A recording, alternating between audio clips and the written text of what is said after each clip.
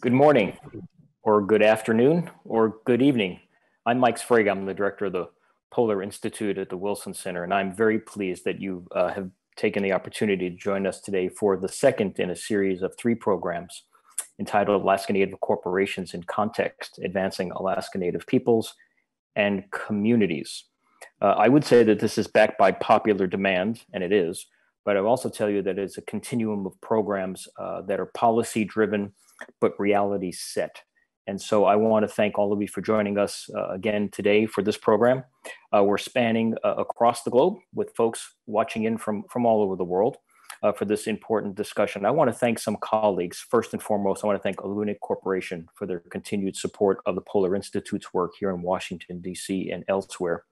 Also, our history and public uh, policy program at the Wilson Center for their uh, continued support as well uh, the ANCSA Regional Association and Alaska Native Village Association as well. And as always, Michaela Stith for making sure that the Polar Institute is not just on task, but performing to the level we've all come to expect. Uh, let me also thank uh, colleagues uh, here in DC at the Meridian International Center and also the Department of State. Earlier uh, this week, I had an opportunity to speak to a program called International Visitors Leadership program. And they have uh, five colleagues from the Canadian North who are exploring, investigating, and in their daily lives working on a lot of the issues you will hear about today. So they're also participating online as well. They'll be watching and likely looking for connections not only to the panelists, but perhaps those participating in the discussion today. So I want to welcome you all to this uh, program. And now I'd like to turn this program over to my friend and colleague, Kim Reitmeier. Kim? Thank you, Mike. Appreciate it. Thanks so much, Mike. Uh, and an enormous thank you for the Polar Institute at the Wilson Center for hosting this event. We are delighted to be back for another installment in our series, Alaska Native Corporations in Context. My name is Kim Reitmeier. I'm the executive director of the ANCSA Regional Association, which represents the 12 Alaska Native regional corporations. Our member organizations proudly represent over 140,000 Alaska Native people ARA's purpose is to promote and foster the continued growth and economic strength of our member organizations on behalf of their Alaska Native shareholders. I am Sugpiaq. My family's from Kodiak, Alaska. I'm a member of the Sun'aq tribe of Kodiak and a proud shareholder of my native corporation, Koniag. When it comes to Alaska Native corporations, we often say that we are a different kind of corporation. Alaska Native corporations were established by Congress in 1971 through the Alaska Native Claims Settlement Act, or ANCSA, to be socially responsible for profit entities tasked with promoting the social, cultural, and economic advancement of Alaska Native people and communities. Unlike conventional corporations, the shareholders established under ANCSA were Alaska Native people. As you'll hear from our panelists, COVID has been uniquely challenging for many Alaska Native communities. And even before the pandemic, many daily comforts taken for granted in the lower 48 were luxuries in Alaska, such as road access and broadband connection. But despite these challenges, Alaska Native people are proud to call Alaska home, and even more proud of our history and culture that lives on today. Alaska Native corporations are different and as bold as the people we represent. We hope today's panel will give you a deeper understanding of why the uniqueness of Alaska living and Alaska Native people require a different approach. So thank you for joining us today and let's get started. It's my honor to introduce Raina Thiele, Senior Advisor for Alaska Affairs and Strategic Priorities for the Department of Interior. Prior to being appointed to the Department of Interior, Interior Raina served as Associate Director of Intergovernmental Affairs in the Obama Biden White House. She also served at the Office of Management and Budget, where she worked on a variety of energy and, and international issues.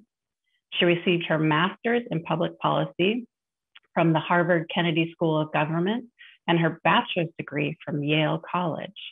Raina, thank you so much for joining us today. We are so thrilled to have you open up our conversations. Over to you.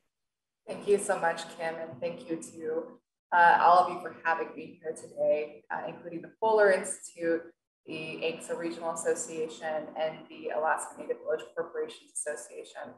Um, you know, I, I am from the Bristol Bay region of Alaska. I am myself a shareholder. Uh, so really this event is a special uh, way for me to speak to not just the priorities of the department that I currently work for, which is the Department of the Interior uh, for Secretary Deb Haaland, but also talk a little bit about um, how ANCs and how ANCSA has really influenced my upbringing and uh, my life.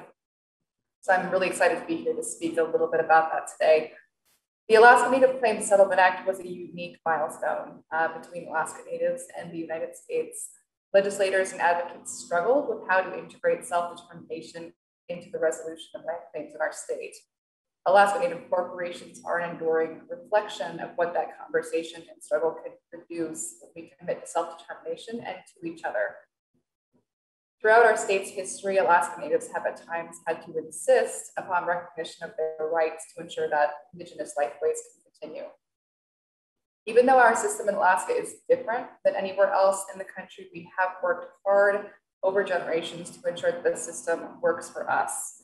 That service delivery landscape uh, meets the needs of Alaska Natives, whether rural or urban living. Alaska Native corporations themselves are a core part of ANCSA, and they have grown and evolved over time to a point that was likely unfathomable 50 years ago. ANCs are a major component of Alaska's economy. Uh, as we all know, the largest private landowners and among the largest employers of Alaskans. They provide jobs, they provide wages and other benefits addressing the cultural, environmental, physical, and socioeconomic needs and concerns of Alaska Native shareholders statewide.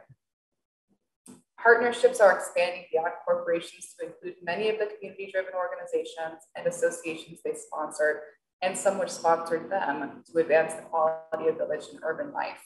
While adapting to the growing complexity of participating in government programs remains a challenge, Native leadership has shown what focusing on building your community can accomplish in any sphere.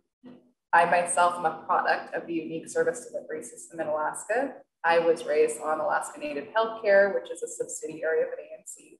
Uh, we put food on the table due to both my parents' shareholder status, and I received scholarships as an ANC descendant, which enabled me to uh, be the first in my family to attend college. Beyond that, ANCs can also help to strengthen a connection to one's roots. I was raised in both rural and urban Alaska. So when I lived in rural Alaska, you know, we lived mostly a subsistence lifestyle uh, similar to our ancestors. But in urban Alaska, it's a bit harder to maintain that connection. ANC's cultural programming really helps to bridge that gap for many young people. Of course, our system is not without its difficulties, and the importance of tribal sovereignty in Alaska cannot be overstated. Our tribes play a special and crucial role in the service delivery landscape of our communities along with consortia. They are also the holders of a nation to nation relationship with our federal government. Many tribes and ANCs work hand in hand to ensure the health and prosperity of our Native communities. My boss, Secretary Deb Haaland, understands the importance of Alaska and the complexities of our system. This is in part why she hired me to serve as her senior staff person and uh, lead on Alaska issues. I am the first Alaska Native to serve in this position. I think that really speaks to the Secretary's prioritization of Alaska and Alaska Native issues. As I've mentioned, I am so proud to be here to introduce this session and to celebrate the proud history of ANCSA 50 years later, and to help push forward the collective goals of all facets of our Alaska Native leadership. So I thank you for inviting me to be here. Raina, thank you very much uh, for those not just uh, foundational comments to this discussion, but also the personal connections to the issues we're going to talk about. We know that you have an incredibly busy schedule. So thank you for taking time out of that schedule. And we know that you have to rush off to other meetings that are that are pressing uh, your time and your efforts. So thank you again, and thank you for representing the state of Alaska in Washington D.C. and making sure an important voice is being heard. Thank you for your time, Raina. So while Raina transitions off to her other meetings, uh, let me now move the program forward by inviting uh, our three uh, Alaska Native leaders and panelists to the discussion. Uh, I will briefly introduce them, but then we've asked each of them to spend three or four minutes uh, introducing themselves. So our panelists for today are Jaeleen Kookesh, Jason Metrokin, and Nathan McCowan. And as you will soon find out, there are many reasons why we wanted not only their experiences to be uh, shared with you, but also their perspectives and their leadership to be understood and shared with you. So let me begin with Jaeleen, and then we'll go to Jason and Nathan. Jaeleen, please, and thank you. Thank you uh, for having me. Uh, as Mike indicated, my name is Jaeleen Kookesh. I am the Vice President for Policy, Legal Affairs, and also the Corporate Secretary for Sealaska Corporation. Um, I have been in this role for 13 years now. Uh, prior to that, I was uh, at the law firm of Van Ness Feldman in Washington, D.C. I like to say I'm a recovered Washingtonian. Uh, it's been uh, a quick several years at Sealaska, though I can't believe it's been 13 years. Um, more properly, I need to introduce myself as well. Um, my Tlingit name is Kajuhain. Yesh Ayahat Plinedi Nahatsati. I am Raven in Dog Salmon Clan. Uh, Tekwedi Yadi Ayachat. I am a child of the brown bear Koyukon Athabaskan Dutch Kun Ayachat. I'm also a child of the Koyukon Athabaskan. My mother's from the interior of Alaska. Uh, I grew up in Angoon, which is one of our villages in Southeast Alaska. Um, usually I am on Tlingit Ani in Southeast Alaska in the Occoquan territory. Today I'm in Duwamish territory in Washington state. Um, I graduated from Stanford University uh, many years ago. I won't say how long ago. Uh, and I did my legal training at University of Washington and uh, University of New Mexico. I graduated with my JD and my Indian law certificate from UNM. Uh, and have used that experience to work uh, both in Washington, D.C., but also now in Alaska for our Alaska Native people. So I'm really excited to be here and happy to share some of my experience working for an Alaska Native Corporation. Thank you. Hello, everyone. Thanks for having me. Uh, thank you to the Wilson Center and Mike um, for this time today. I'm Jason Metrokin. I'm the president and CEO for Bristol Bay Native Corporation. I was born and raised here in Anchorage, Alaska, where I'm residing and working here today. Um, my family ancestry comes from uh, Kodiak Island as well as Bristol Bay and the Aleutian Islands. I am um, a Sugpiaq from Southwest Alaska. My father was born and raised um, both on the island of Kodiak and in the village of Naknek in Bristol Bay. My mother comes from uh, uh, just outside of the Boston area on the East Coast. Growing up here in Anchorage, attending high school, and uh, my undergraduate degree from Massachusetts College of Liberal Arts in Western Massachusetts gave me an opportunity to experience a little bit of my mother's side of the family and where she came from. Um, but I also received my master's degree here uh, at Alaska Pacific University in Anchorage, Alaska. Um, my career started after college with uh, a local bank here, National Bank of Alaska, which was then acquired by Wells Fargo. And I worked for uh, uh, both banks for a number of years before I started in the nonprofit sector uh, with First Alaskans Institute, a statewide uh, uh, Native nonprofit organization focusing on public policy and leadership development. I then started working for my corporation, Bristol Bay Native Corporation, in 2003, actually on its board of directors to start and then management team thereafter and started as president and CEO in 2009. I am a BBNC shareholder. I inherited shares from my late grandfather, Walter Metrokin, and uh, just proud to be a shareholder working for my corporation and leading the corporation in this very new world that we're living in. Uh, BBNC has had a, a, a, run of success for, for our nearly 50 years in business, and we're very much for, uh, looking forward to the future and where we can go from here. Um, my family lives here in Anchorage, including my parents and sister, and it's a wonderful place to raise a family. And I really look forward to the discussion today. So thanks again, Mike. Uh, good morning, uh, Kila, Yagi. Uh, my name is Nathan McCowan. I'm the president and CEO of St. George Tanaq Corporation. That's one of the village corporations uh, pursuant to ANCSA, the one specifically for St. George Island, uh, one of the two Pribilofs in the middle of the Bering Sea. Uh, I am also the chair of the Alaska Native Village Corporations Association, which represents all 177 uh, village corporations that are left remaining. Um, as Jaeleen uh, led, I also have to introduce myself uh, culturally. So Yandakanyeh Duasak um, my Tlingit name is Yandakinyeh. Um, I'm a member of the uh, the Koho clan.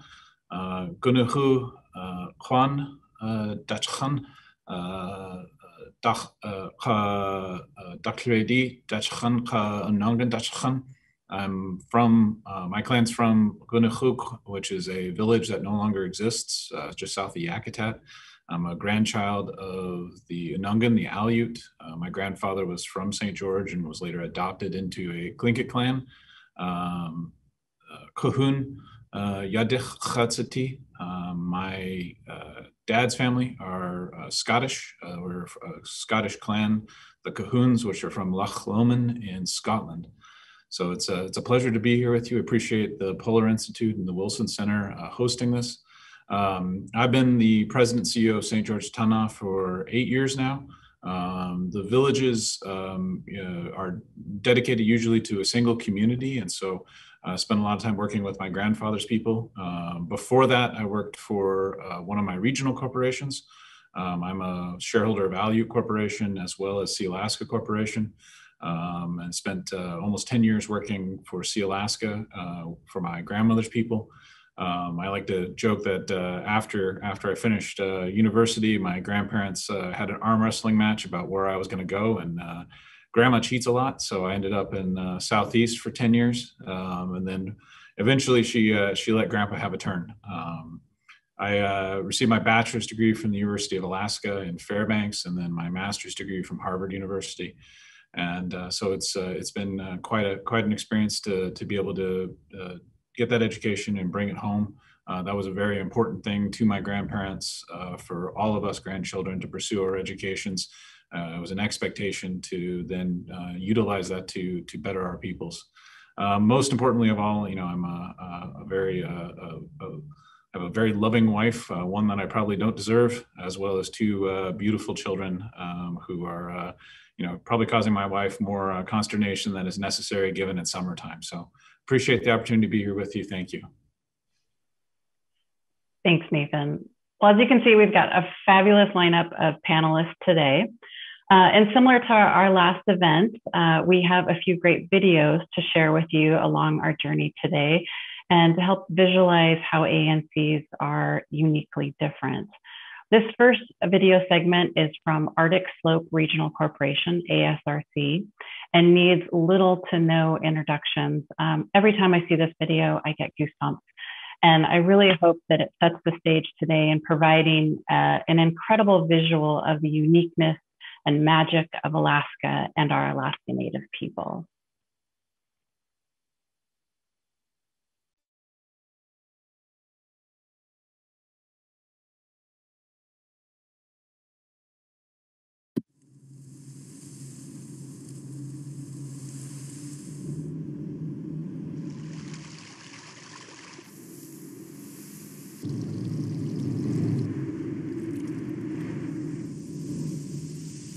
Our feet were not the first to touch this land. Our steps following a well worn path, footprints planted deep by those long, long ago. Our fathers, our mothers, our leaders felt the cold whisper of snow as their eyes gazed out on this vast, beautiful expanse. That is our home. Those sacred hands, which for generations reached out and gathered the rich harvest, celebrating the bounty from the land and from the sea. Even then, so long ago They saw us, knew us, led us, prepared us with wisdom, with knowledge, with foresight. Our lives echo with the wisdom of a thousand years.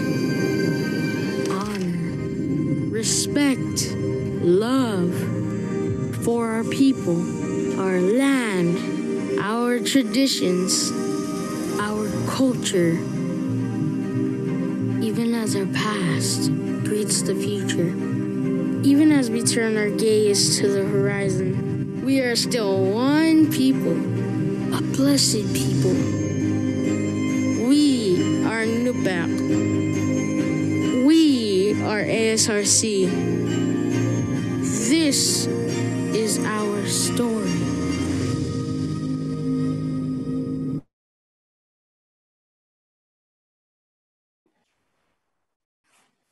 Uh, Kim, I, it's it's very rare that I get caught for words, but I just got caught for words. I got just totally um, zoned in there on that uh, journey. That was a great two and a half minute journey, so I apologize for that. Uh, but there's nothing better. I mean, many of us try to explain, describe, share uh, the landscape that we live in and that we love. Nothing better than than something like that, and it gets better because now I'm going to ask our panelists to uh, speak with us about uh, the connections of, of landscape, culture, connections, service to state, service to communities, service to the people that they are that they are of. So I want to ask each of you who have a rich family history in Alaska, and maybe more specifically within the Alaska Native Corporations organization, to share uh, some knowledge that your parents or grandparents have passed along to you that you've taken to heart um, as as you run or play a key leadership role in your organizations. All of us have that knowledge from from our elders and from our families but you've been able to take that and then apply it in service to the people you serve in an Alaska Native Corporation structure. And I am not clear that many people understand the connections and the power and how your your personal experience inform and influence your leadership. So maybe I can ask you for that for an answer to a very complicated and very personal question. But maybe Nathan, Jason, Jaeleen, maybe we can go in that order if you if you would like to share with us a little bit more on that issue, please. Well, I'll, I'll do my best. Um, it's a, an easy question to, to, to, get down to a terse answer. Um, my my family was was knee deep in in land claims uh, since the 1920s. Uh, my grandfather, great grandfather Judson Brown, uh, Shakakuni uh, was the uh, secretary for the Alaska Native Brotherhood Grand Camp Convention, where uh, they made the decision, the Tlingit people of Southeast made the decision to sue the United States in order to reclaim the lands that had been, they felt had been um, illegally dispossessed. Um, that was the start of the, the land claims, the real legal aspects of the land claims movement. Um, and so my great grandfather remained um, involved uh, through the entirety of uh, to ANCSA 1971. After he was on the board of Sealaska, was later the chair of the board. Uh, my my Aleut grandfather, Flore uh, um, um, because he was able to um, uh, through a series of events be able to go and get his bachelor's degree and his master's degree. One of the very few Alaska Natives in the 50s that that was educated um, was uh, in the thick of the development of the regional uh, entities. Um, help along with uh, Emil Notti started uh, the Cook Inlet Native Association, which later became uh. Um, started the uh, the Aleut League, which uh, sounds like a really obscure uh, minor league baseball system, but is actually the uh, group of, of, villages that later became the Aleutian Islands Pribilof Association. Um, the regional nonprofit for the for the Aleutians. And uh, later, he helped co-found uh, AFN, uh, which was really the instrumental entity for um, consolidating and focusing the land claims movement. Uh, he was the first chair. So, uh, you know, early as a young boy, um, Alaska Native corporations, Alaska Native politics was just something that was all around me. Um, I can remember my great grandfather as a young boy. I, he, I, was a young boy. He sat me on his knee and he said, he had a really deep voice, You're going to work for the corporation one day. And I had no idea what he was talking about, but he uh, happened to be, uh, you know, quite a soothsayer because it, it, later came true. You know, my my grandparents um, deeply uh, deeply etched two important values in, into all of us. Uh, one was the value of education um, they, they really did believe that uh, the only way for us to stand up as a people was to gain skills, gain experience, gain knowledge uh, of the outside world, but also of our own worlds. Um, they very much, uh, you know, spoke the native languages around the house as much as they could, taught us, uh, you know, as much as the, uh, we, we were willing to take up the, our traditional ways.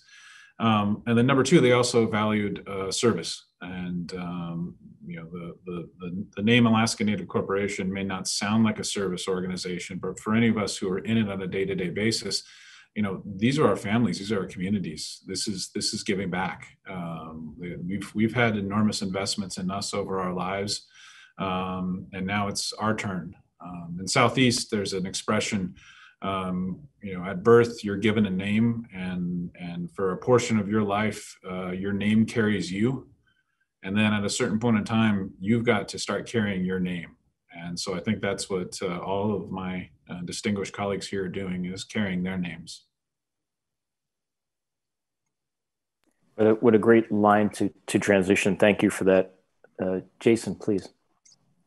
Yeah, it's my pleasure. My great question you know, I've had the good fortune of being surrounded by very wonderful leaders in my family and even in my wife's family. Uh, my my lineage is really more um, about commercial fishing in Southwest Alaska, Kodiak Island, uh, in Bristol Bay, and my my grandparents, my grandfather, my great uncle, were all, of course, my father and and even my mother's uh, brothers living in Kodiak were all commercial fishermen.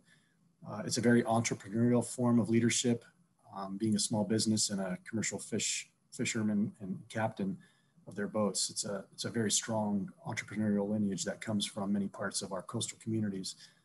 Um, my father, who was also the president and CEO of his regional corporation, uh, Inc., um, really was, was able to pass down a whole number of, of um, great mentoring opportunities and, and leadership skills but his second career was with the Alaska National Guard. And he had a 30 year history working with the Alaska National Guard under some wonderful Native leadership, both uh, General Jake Lestenkof and General John Schaeffer.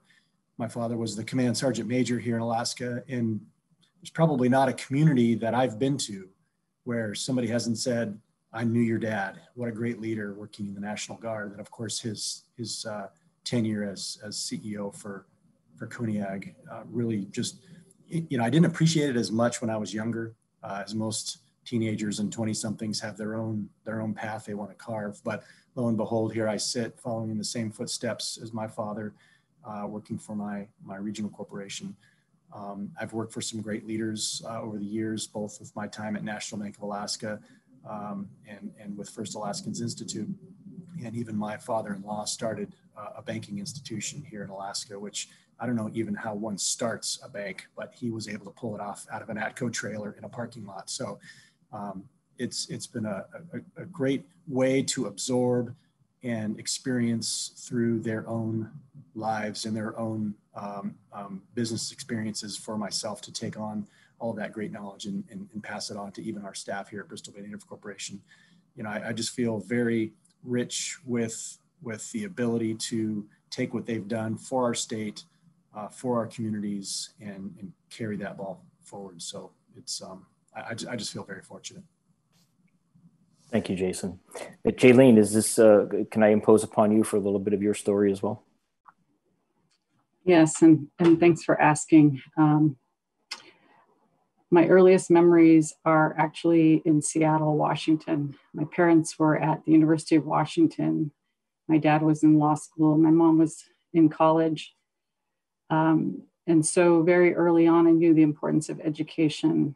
Um, and I've tried to instill that also in my children. Uh, I failed to mention I have twin daughters who just finished their first year of college remotely, sadly, thanks to COVID.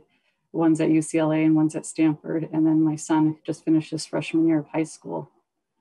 And, you know, my parents, um, instilled in us the importance of education and also serving uh, in our community. Um,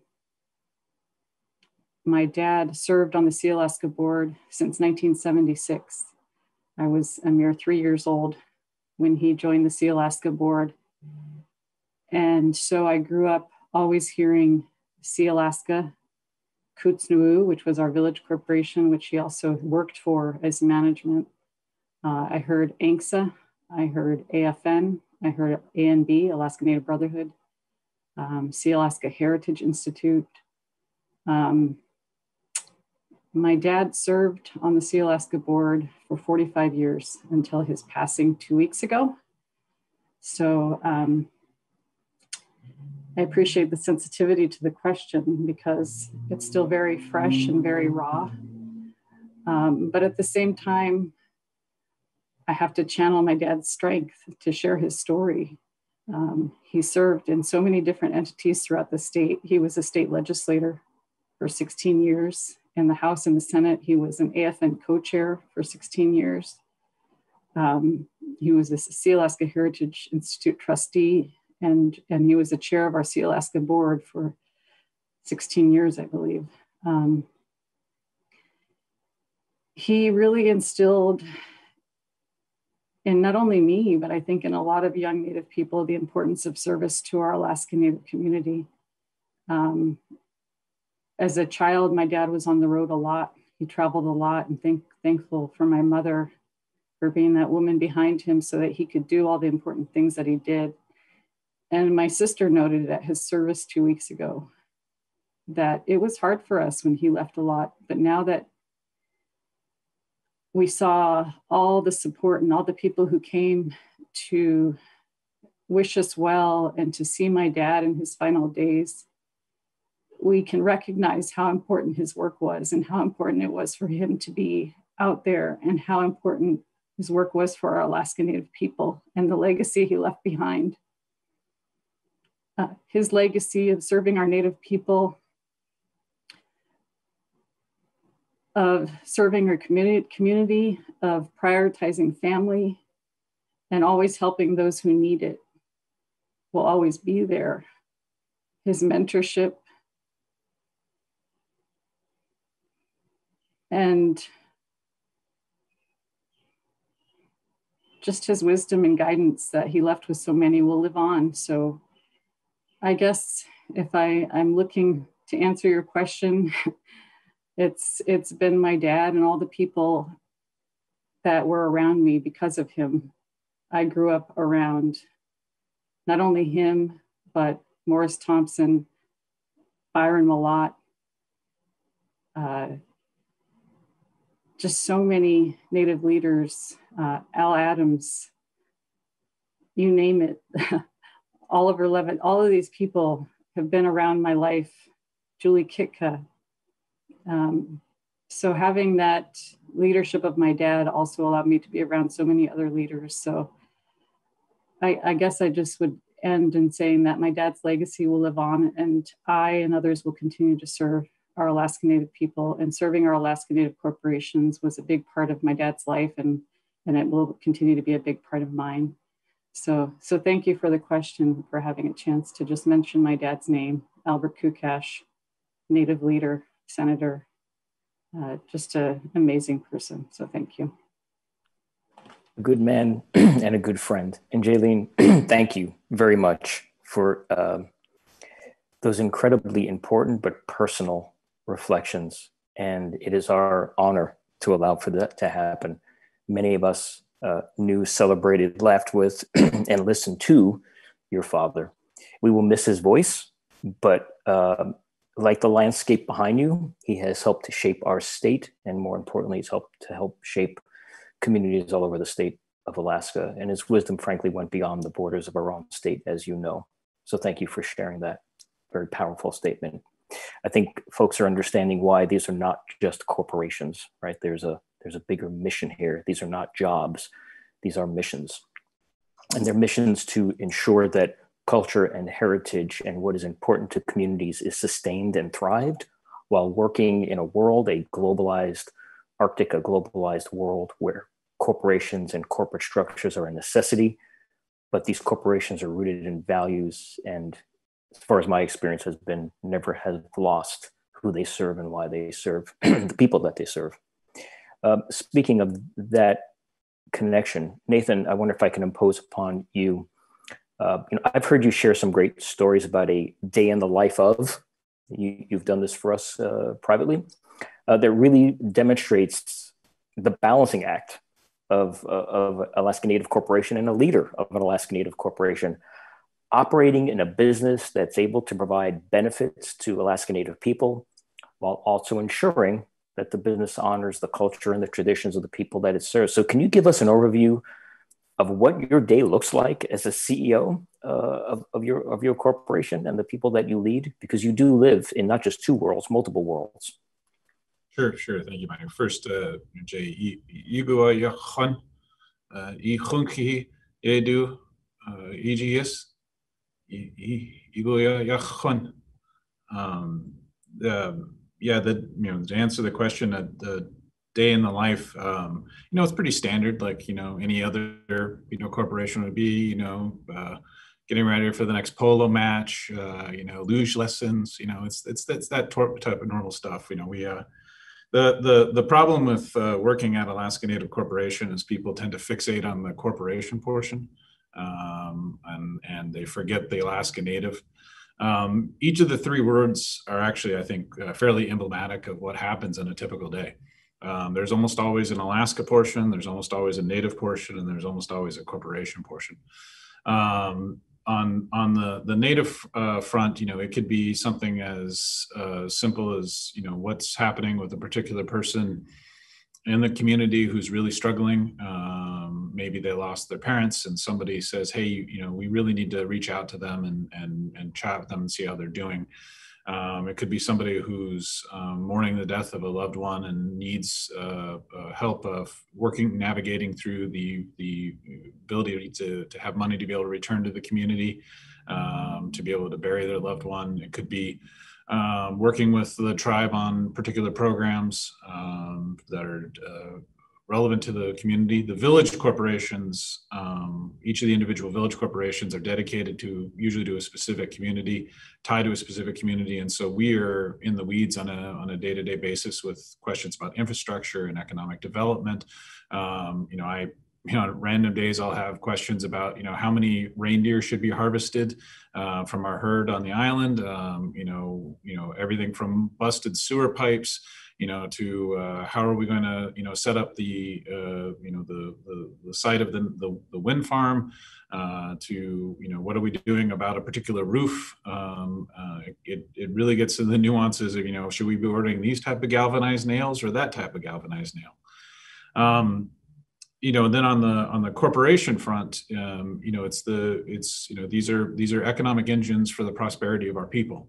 And uh, they they have a capitalist model. And so we make uh, we make no umbrages about that uh, that uh, an important part of what we have to do is we have to uh, develop uh, returns for our shareholders. Um, so that's the gamut of business meetings from marketing and sales to human resources to IT, uh, to strategy, to partnerships, um, uh, all, the, all the way down from the, the, the smallest of uh, infrastructure and process to the biggest of uh, long-term planning. Um, and and uh, you know working with the board of directors uh, is a, a, great privilege to be able to access you know the wisdom of the, the elders that we have the, the the younger folks who are who are really driving and striving um, and, and that's a key portion of it as well. And then finally, on the Alaska piece, um, that really has to do with our, our, our nature as being products of the public policy process. Um, Alaska Native corporations weren't developed by a group of people who thought that there was a market opportunity, and so they decided to pool their capital together in order to take advantage of it. We flow out of the public policy process. We uh, were, were, were created by Congress as part of uh, negotiated settlement of our land claims. Um, and we have to be uh, inextricably intertwined uh, with uh, policy uh, dynamics, both on the state level, uh, but also on the federal level. So a typical day is going to be thinking about what is happening with the Alaska budget and what's happening with capital expenditures, what's happening with programs to subsidize energy. Um, it could be going to DC and talking about you know, major or minor amendments to ANCSA itself uh, or other laws that are that are integral to helping our people survive. and thrive. Um, and it could be international issues as well. There's a summit happening in Switzerland. Uh, there's a great power uh, conflict between China, Russia, and the Arctic. Our our island, our lands, uh, the people, the other regions are at the at the crossroads of the Arctic. We're the gateway to the Arctic. And so what happens on the international sphere is something that we have to pay attention to as well. So it, it runs the full gamut, Mike, of uh, you know everything from paying attention to what's happening at the UN all the way to uh, what's going on at uh, uh, Sally and Jim's house down at the end of the end of the village. That that's a thank you. I mean that that's not just comprehensive, but that provides so many focal lenses into what you do, and then by by result what happens within the organization and then all the way back to the community. But i like the fact nathan you brought it from local local to regional to global right? Local regional national global and how all of that works together as best as you possibly can playing bumper cars with all of the different incomings from which nails to buy and which piece of legislation in dc you need to inform and influence. I think that gives us a great idea of the comprehension of, of and sophistication that is needed uh, to serve all of all of your communities. So maybe I'll ask uh, uh, Jason and Jaeleen as well to to now join us again. And I'd like to ask your thoughts uh, fairly quickly, not so quick though that we we don't get the right message. But how do you think about success? I mean, Nathan just gave us some thoughts, but how do you think about success for your organizations and your communities. And Jaeleen, I know that in particular, maybe I could put you on the spot to talk, maybe focus your comments on, on social services ANCs provide, but uh, and maybe start with you, Jaeleen, and then we'll go to, to Jason if that is okay. Thank you, Mike. Um, I guess I would start with generally the fact that the more successful our corporations are, the more we can do for our people uh, and so it's been such a blessing and an honor to be a part of Sealaska's recent successes over the past couple of years. We've had our most successful financial years over the past three or four years. Uh, and because of that, we've been able to add to our benefits for shareholders. For example, we added $10 million to our scholarship endowment, so it's now at $15 million. We added a bereavement benefit to help our shareholder families when someone in their family passes away. Uh, we created a language endowment to preserve our native languages. Uh, we invest in, in cultural programs and cultural events, such as our biannual celebration, which we hope to have again next year. We had to cancel because of COVID this last time around.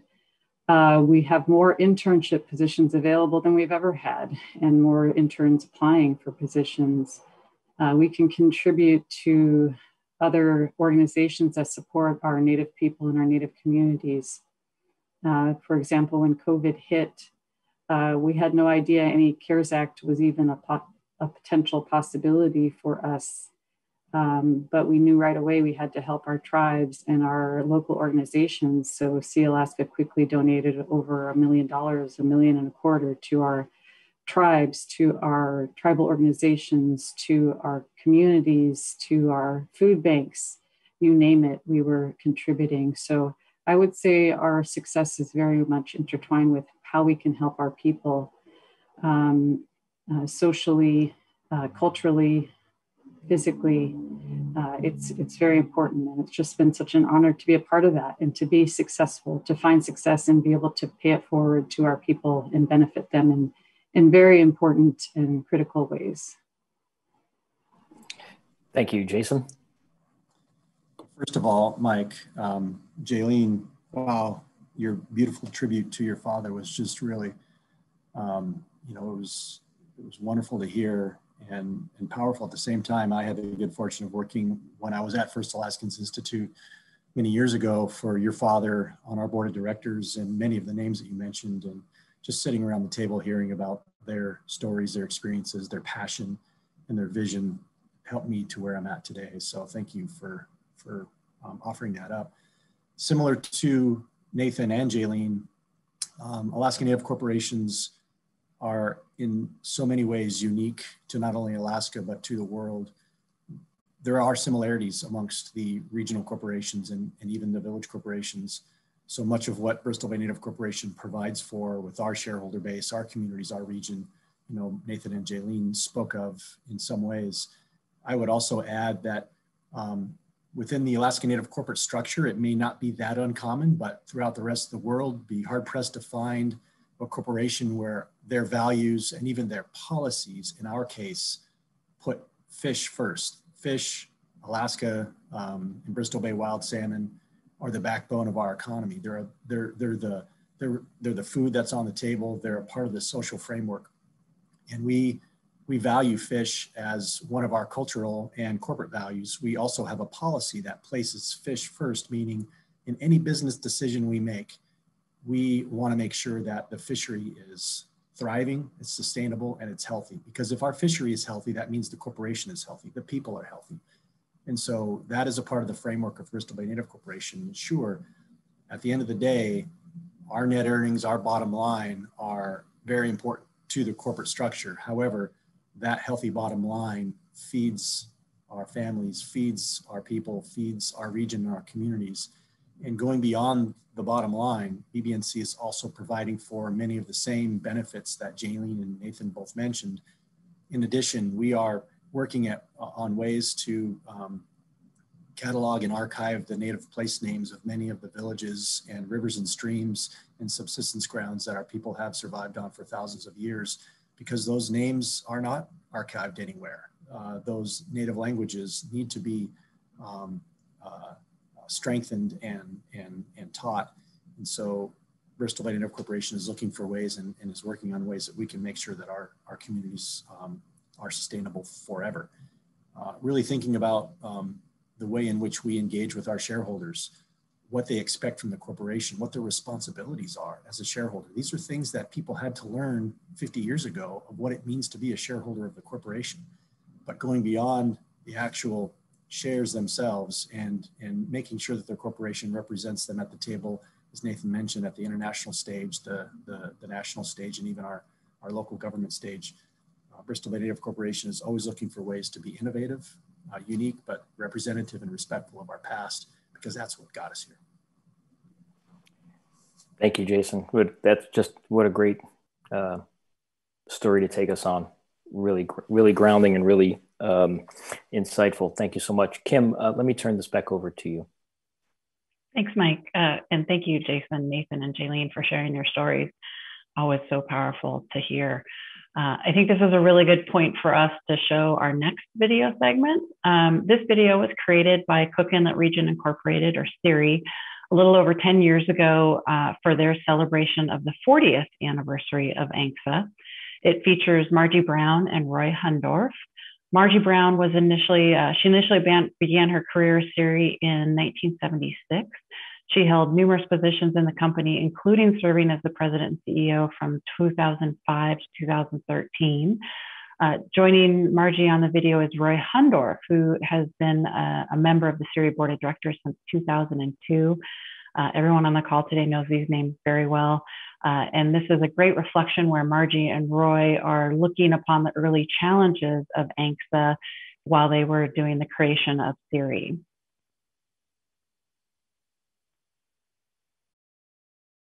We ha- every every native uh, group or uh, entity in the state is embodied in our shareholder base, and so they look to CIRI as a very strong link to their cultural past. We have can take pride in having people associate with us uh, and with and connecting to their culture through the corporation. I think that's absolutely correct. Um, most people never anticipated that the corporations would use their their money and their status as sort of a toolbox to do things that were considered outside of the realm of corporate activity, such as healthcare, such as uh, uh, uh, social services, such as housing.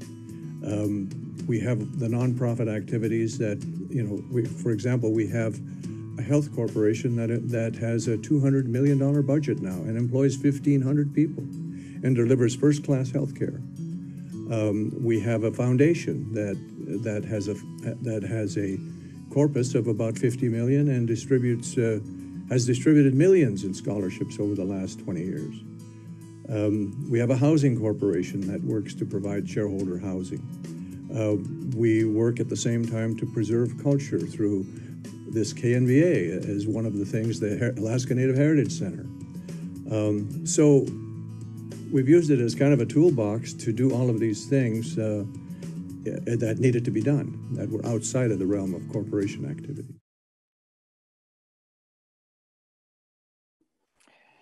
That's a nice uh, reflection back, but but wonderfully sets us up for now and, and the future. Just listening to those uh, those leaders of, of the state and thinking about all, and that was ten years ago, right, Kim?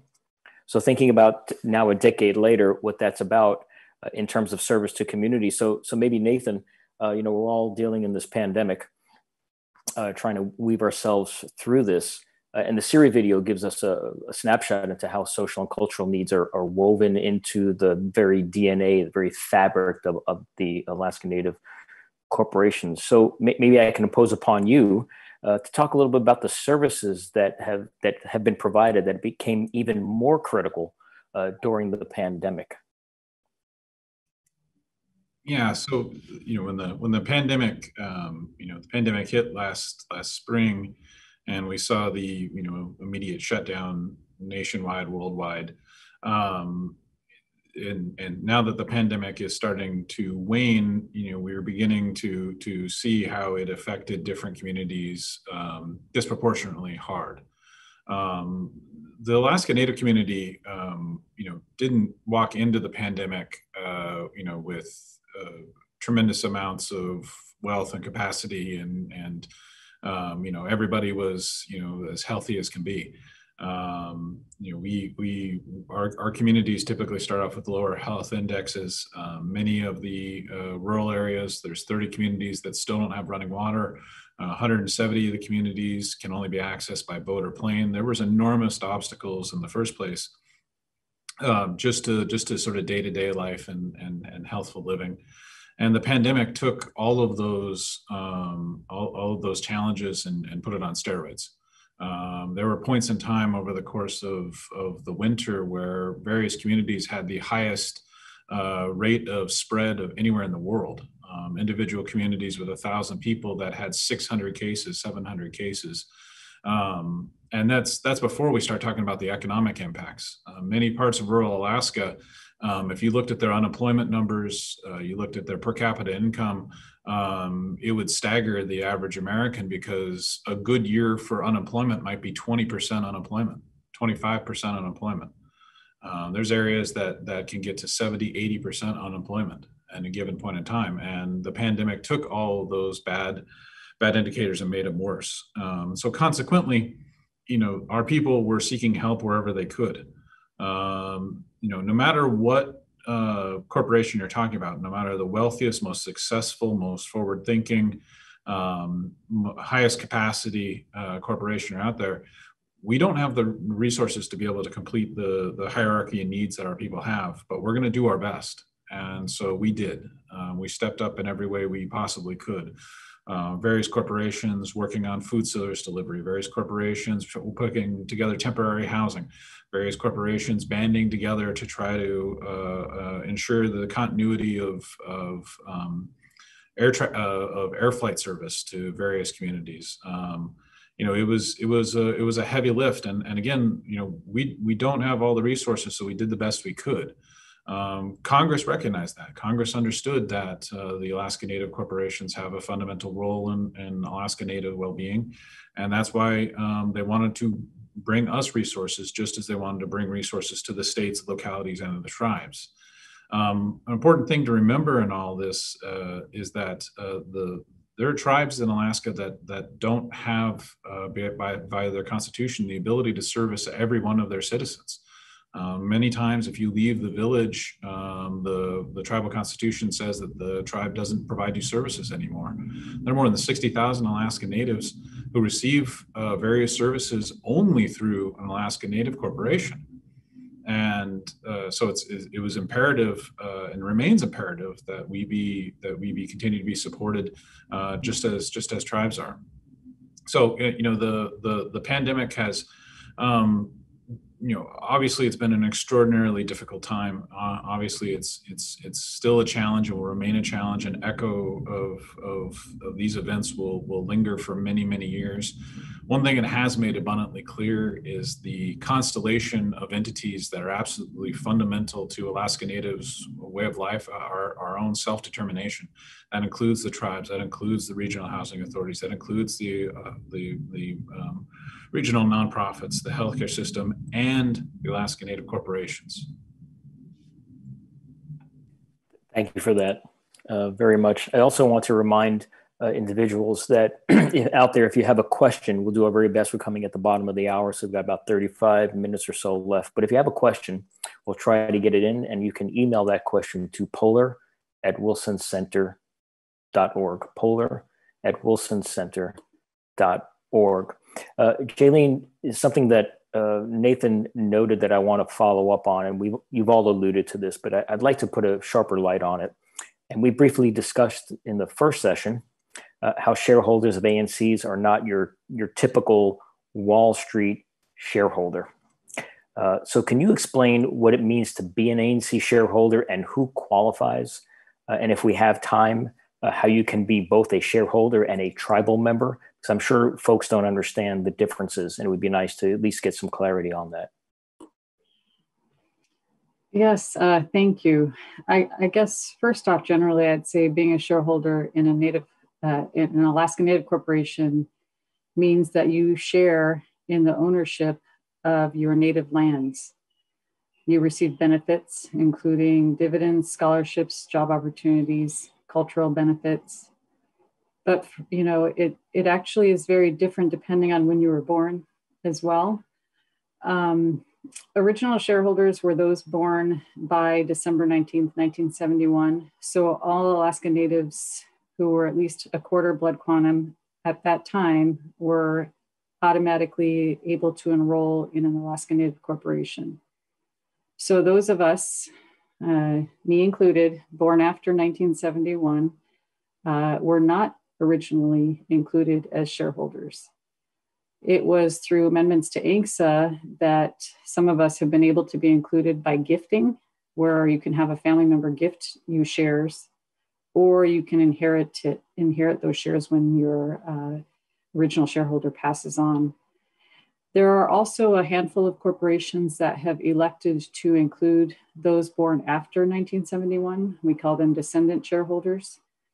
And so I am also not only a shareholder by gift from my parents, uh, but also in my own right as, a descendant uh, in Sealaska Corporation. I have my own shares, uh, life estate shares through Sealaska. And there's a couple of other ANCSA corporations that have done that. So if you meet the qualifications, meaning you descend from an original shareholder and what other, whatever other qualifications that corporation has, you can become a shareholder. Uh, I will say, as someone who didn't originally belong, uh, it was very significant to me when my parents gifted me shares. It felt like I belonged to an important organization, entity that held our native lands, held our native land settlement, that would protect our lands, that would provide me opportunities and benefits. So, belonging to an ANC, I think, has much more significance emotionally as an Alaska Native person than it would for me to have, say, purchase shares in um, some other entity like IBM or AT&T or some other, you know, uh, company because there's a tie, an emotional and cultural tie to what is owned by the native corporation. So I guess that's how I would distinguish it. Thank you for that. Uh, Jason, uh, building on that point, you, correct me, but you were the first descendant shareholder of an ANCSA regional corporation to become president and CEO, uh, which is which is a different. Can you explain how your shares were passed down and how this has perhaps shaped your view of the organization, like you mentioned before? You bet, Mike. So, um, as a non-original shareholder um, and born after December 18, 1971, Jaeleen, uh, I missed the cutoff by about five months, but um, my shares were passed on to me through inheritance of my late grandfather, Walter Metrokin. Um, and as a non-original shareholder, and again, as a younger person inheriting those shares, uh, I needed to educate myself. My family needed to educate me on what this meant in terms of my rights and responsibilities as a shareholder. Did I feel any different or less or more native as a young man without having these shares? Not necessarily, but once you become connected to your corporation, regional corporation, village corporation, um, there is a sense of belonging and there is a sense of being involved and engaged in an entity that has meaning and that has value. And we can get caught up in, in the important terminology between Native corporations and other Native organizations, including tribes. But here in Alaska, being involved in your Native corporation really means something. I can remember when um, I was on the management team here at Bristol Bay Native Corporation, and my predecessor, the late Hjalmar Olson, our former president and CEO, was preparing to retire. And while he didn't necessarily identify me personally as his successor, once the board heard of his impending retirement, there was a lengthy discussion around who should be the next president and CEO of the corporation. And I threw my name in the ring, but it was a lengthy discussion. I think I was sitting here until nine o'clock at night waiting for our board to decide is Jason going to be our next president and CEO? And many years later, of course, I heard I heard stories in the boardroom around is he native enough? Is does he belong here? And generationally, there are those who, you know, as original shareholders of the corporation, you know, feel as though there's a sense of responsibility and belonging, but passing that torch, passing those shares to the next generation generation is so meaningful. And as I think about, in our case, BBNC, our corporation has not yet decided to enroll its descendants as shareholders. It's something that we are taking very seriously, but also very uh, taking our time to, to make sure that it's right for the corporation.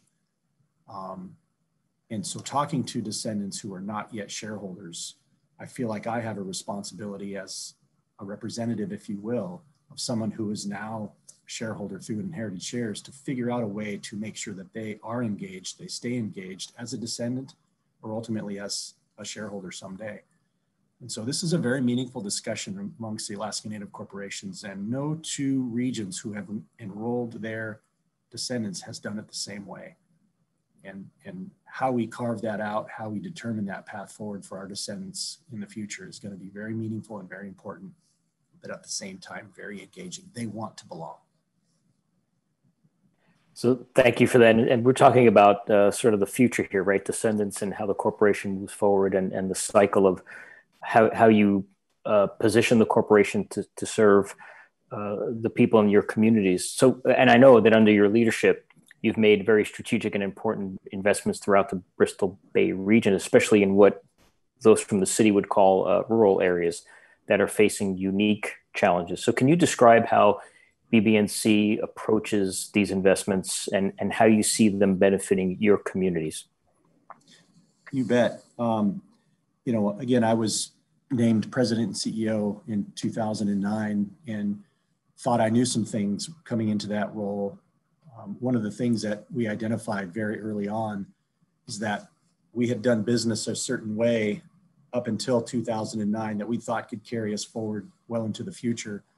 But having a new perspective, shining a bit of a new light on the corporation and seeing it through my own eyes, we, the board of directors, myself, our executive team, quickly determined that we could no longer do business the way that we had done it, you know, from 1972 in our case through 2009 and so we developed a new chapter of our history on a go forward basis. And one of the things that we determined that we were very good at was making investments outside of the region, outside of the state, uh, to provide a return on our investment back to the corporation.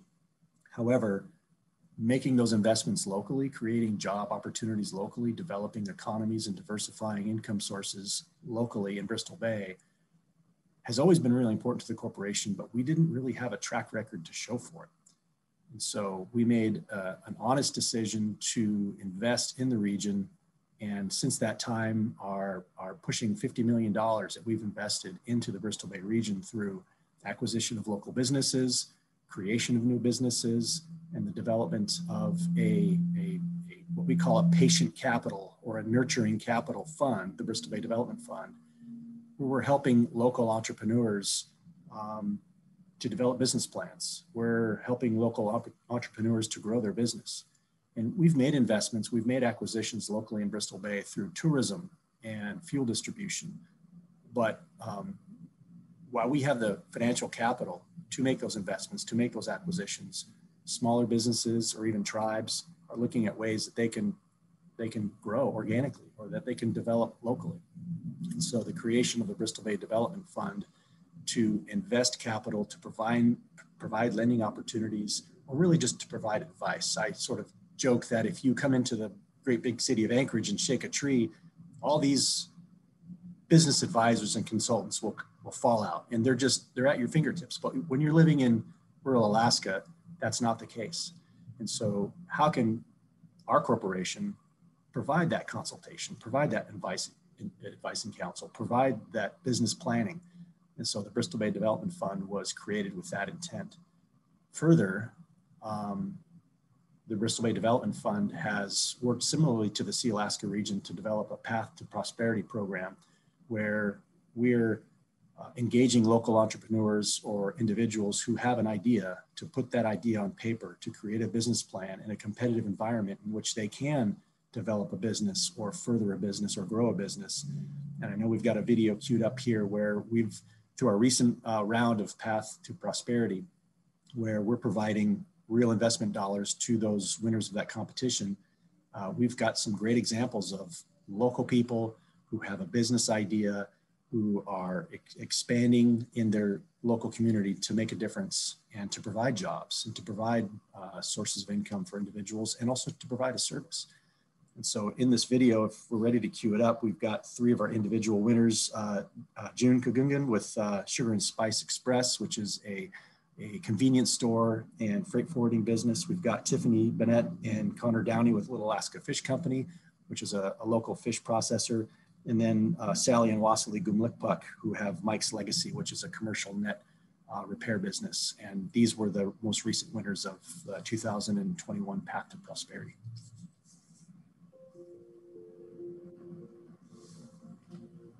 Hi, I'm Tiffany. And I'm Connor. Together we own and operate Little Alaskan Fish Co. My name is June Kagungan. I'm the owner of Sugar and Spice Express, which is a convenience store. We are Nick's Legacy located in Dillingham, Alaska. My name is Sally. This is Wesley and my son Joshua. We started in Chignik Lake with one shelf in my mother's living room, and we grew to own this building. 640,000 tons of fishing waste is left in the ocean each year. To eliminate some of this waste, we work with fishermen to reuse and recycle fishing gear. Bristol Bay is my home. I was raised on fish. I know quality salmon. Together, we've built this company from the ground up to do more with our catch. WAS has been working on nets with his late dad for over 30 years. Netting has since been passed down through four generations of our family. We help our community by employing locally, and recently we started working with IGAP and Chignik Lake to recycle our boxes. They will be able to compress them into a log that can burn for hours to heat the homes. We are committed to supporting our community through mentorship, local hiring, and doing business with our neighbors. Thank you, P2P, for this opportunity. Quyana, for your time and consideration. As my Nick used to say, no nets, no fish, no work, Quyana.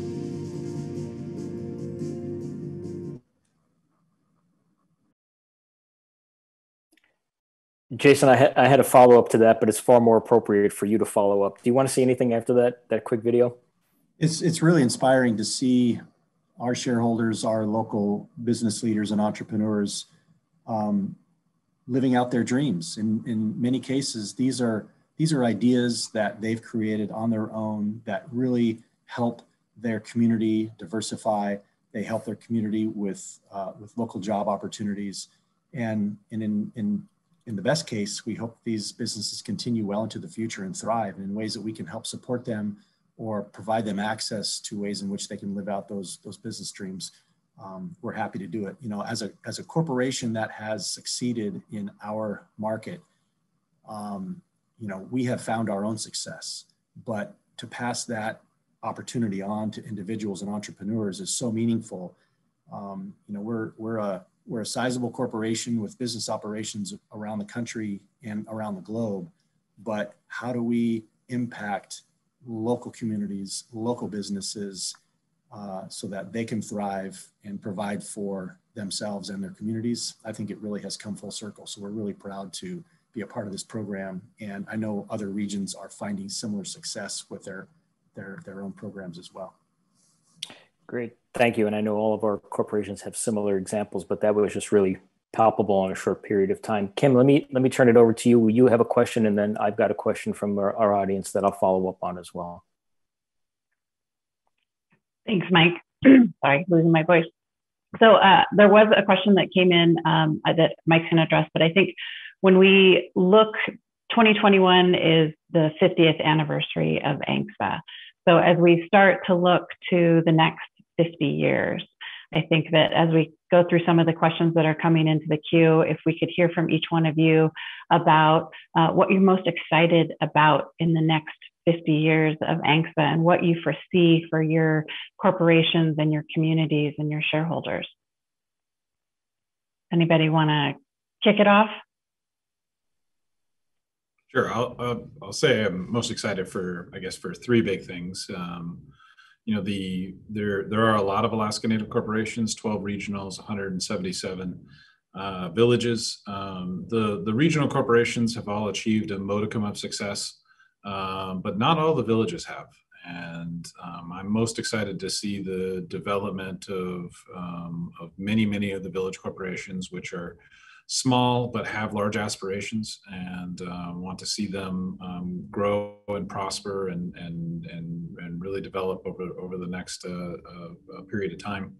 Um, the second second thing that springs to mind is that you know while all of us um, still consider ourselves to be young, um, there are people that are even younger than us. Um, we were all at one point groomed and um, and uh, uh, you know our, our elders uh, took special care to to to develop us as leaders and I'm uh, I'm getting to the point where I'm excited to see the next generation come up beneath us. Um, when we were kids, the ANCs were there, but they weren't always, you know, uh, uh, having big buildings in in in Anchorage or elsewhere. And for the the kids that are growing up today, that's all they've ever known. And so I'm I'm curious to see how they interact with and how they take ownership of and uh, begin to become leaders in their own right for the corporations.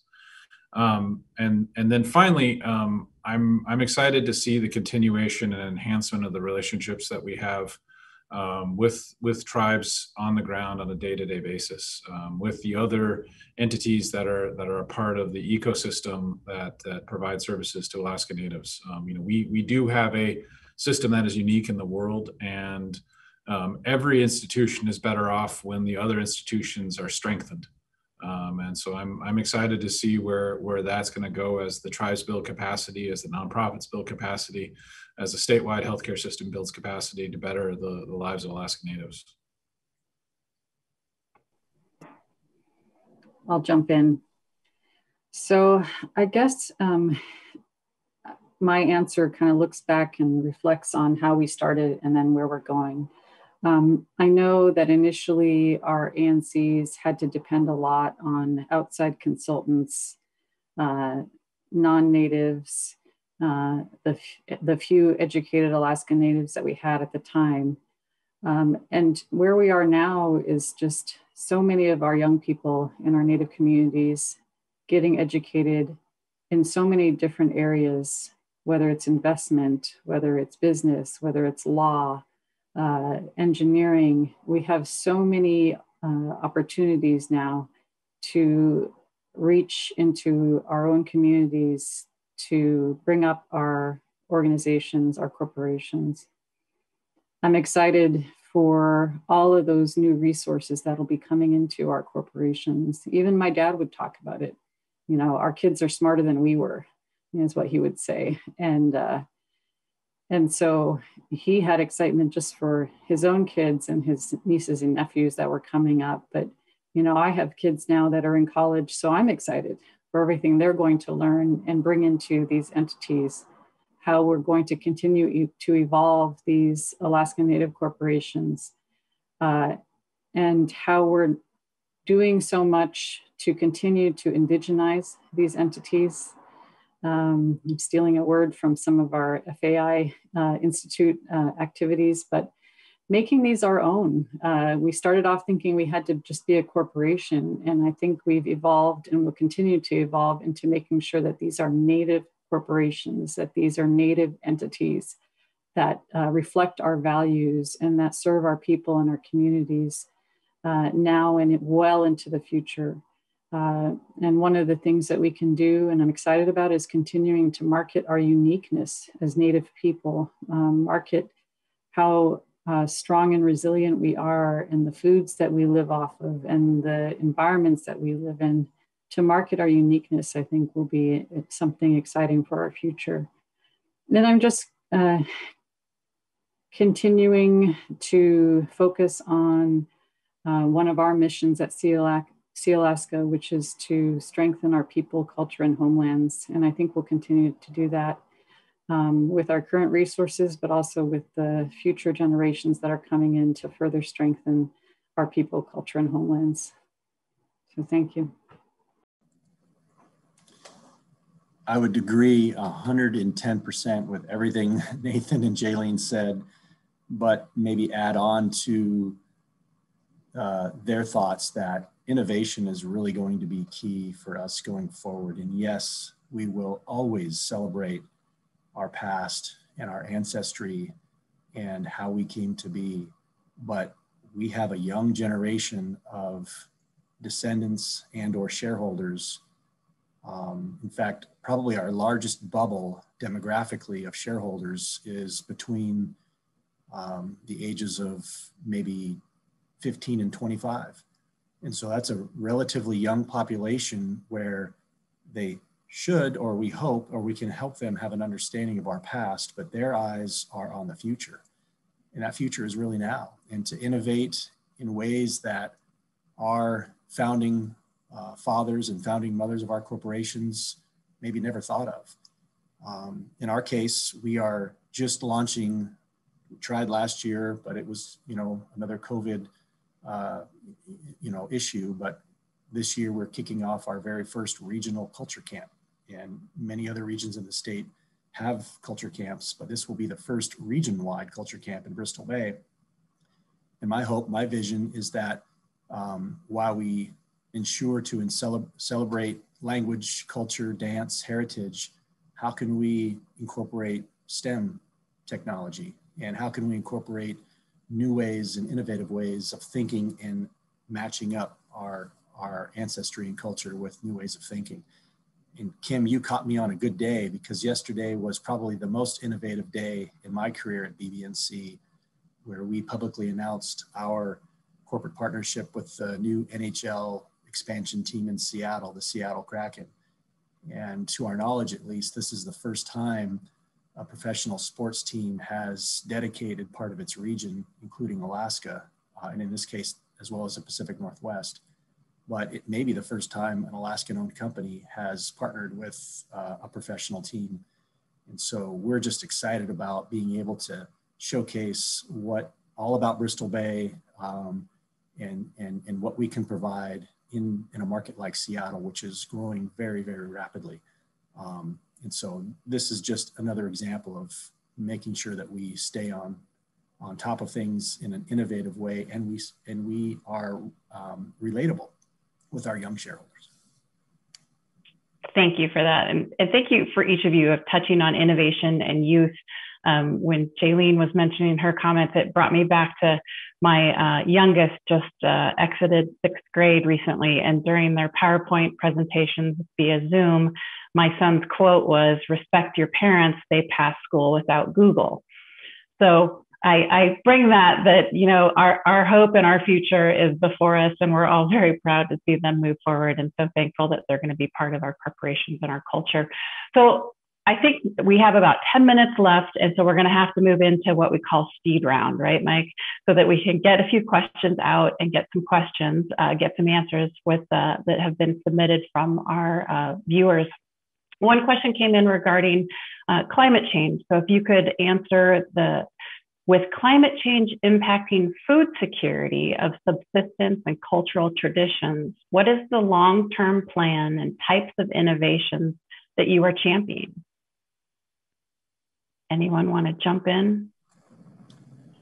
I might just tag on to my announcement. Um, as part of our relationship with the NHL uh, Seattle Kraken in, in, in, the new Climate Pledge Arena, um, there is a dedication to, uh, to climate um, and to sustainable resources and being able to promote through one of the 13 marketplaces within the new Climate Pledge Arena, BBNC will pr be promoting uh, wild sustainable seafood products. And, um, and again, as I mentioned earlier, the, the, the sustainability, uh, the good stewardship, and, and the long-term resources that the Bristol Bay region can provide are of utmost importance to our corporation, our shareholders, and our communities.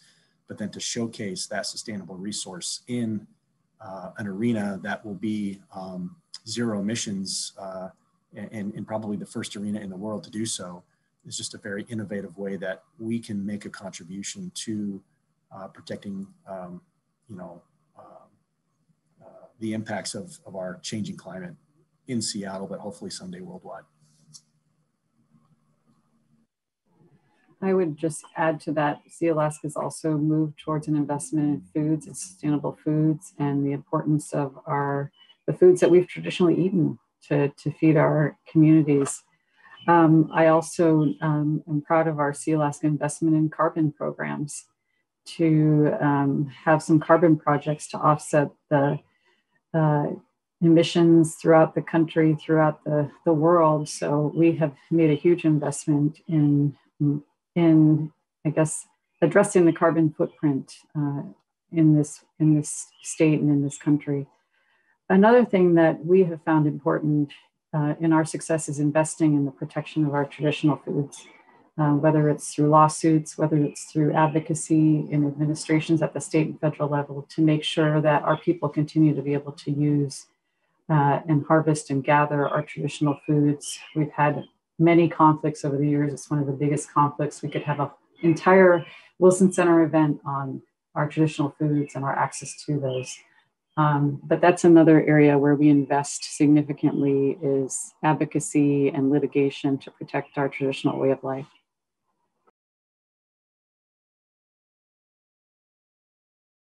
Uh, just uh, just to add, that, you know, we're we're uh, you know dedicated on a day-to-day basis to ensuring our, our shareholders have the ability to hunt and fish, uh, collect as they they did. Uh, um, you know, we, we are witnessing you know changes in, in population dynamics and are actively engaged with regional partners, um, cross-regional partners, international partners, um, in order to understand and address it. Um, it's it's no no no problem is within the bounds of a single ANC, the collection of ANCs, uh, the collection of, of, native institutions to be able to to be able to effectively address. So it, it requires a very broad group of hands holding together to to be able to understand it and then to start working to solve it. Thank you. I want to take us. Uh, we've got what eight minutes left, seven minutes left. I want to take us maybe in a different direction, a complementary direction uh, at the Wilson Center and with other colleagues, we talk about the Arctic in many different ways, right? There's there are very different Arctics, there are very different Alaskas, but certainly different Arctics. Sometimes we talk about the North American Arctic. In fact, a lot we talk about the North American Arctic, Alaska, Canada, Greenland. And so we know that there's shared culture, there's shared interests, there's lots of shared. We, people think north south and they think the Arctic, we like making it east west or, or west east. So, thinking in, the, in those terms, and in terms of your investment ethos, the mission, the vision, communities that you serve, uh, all, all of the issues you brought up today, we have a question from a colleague asking, what about Greenland? Uh, are, are, the corporations or are you looking at opportunities to work with Greenland? Obviously, in the news a lot now for a lot of different reasons would it be very interesting to get your input on if you currently work with with the government of Greenland, or if you have opportunities to work with the government agreement. We would like to hear about that. Uh, and again, something that, uh, as Jaeleen said, we've got a lot of programs for Wilson Center to help support, like food security, but this could be yet another one in and of itself. But let me ask ask the group that in the, in the few minutes we've got left. Uh, we, we don't we don't currently within within Tanaq, but I sit on the Arctic Economic Council as um, one of the um, permanent participants uh, with the Aleut International Association. And that's a, a, core piece of what we're, we're doing is uh, fostering um, um, international um, understanding and, and, the mix of, of, potential projects wherever they are. You know, um, you know the the Arctic is changing very very rapidly, and so uh, there's there's a host of opportunities that are going to be presenting themselves.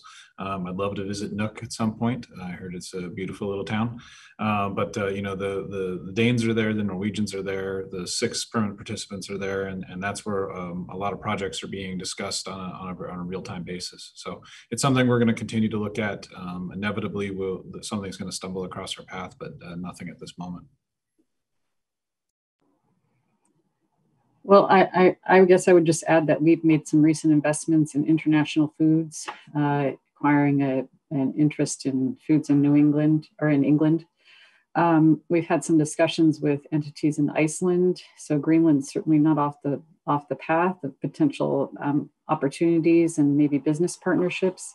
I know that some of the um, other Arctic countries uh, are very innovative in terms of energy use and sustainable foods production. So we do have some of those discussions going on, and I'm sure Greenland's another area where we can have some outreach and collaboration.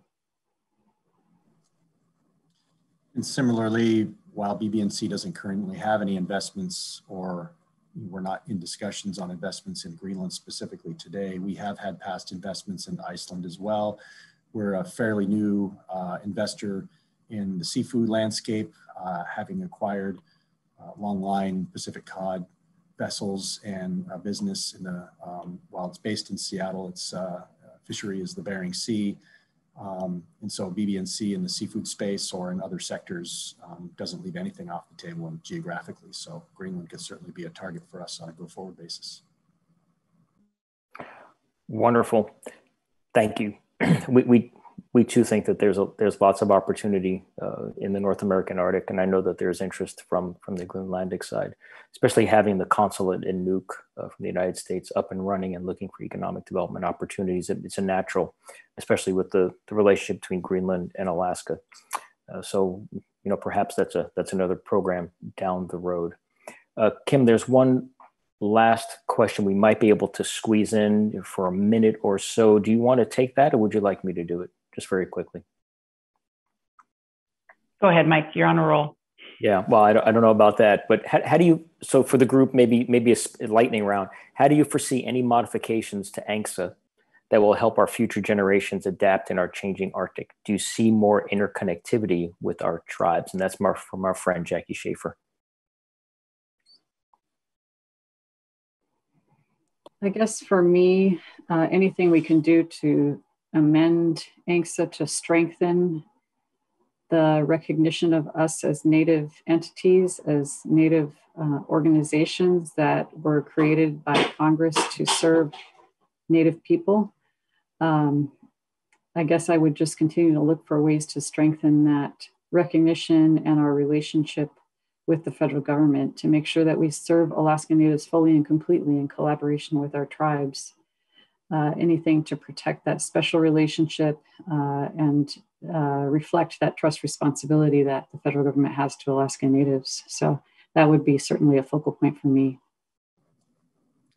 I would quickly add that just the connotation, as we talked about throughout this session, of what a corporation is or is not, we work very closely with the tribes in our region and around the state in, in a, in a uh, cohesive way to ensure that they're successful as we're successful. And, you know, corporations are not a bad thing at the end of the day. It's a moniker that we've all been given by Congress, but we're doing um, what we can to ensure a thriving culture, a thriving population, and a thriving state here in Alaska. And we do that hand in hand with our tribes.